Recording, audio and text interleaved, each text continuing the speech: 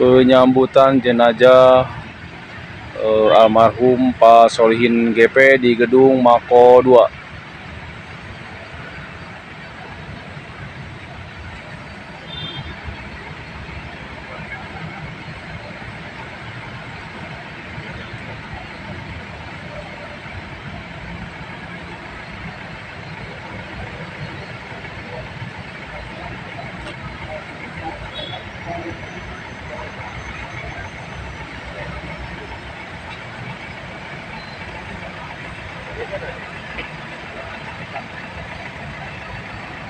Ri gak pakai itu.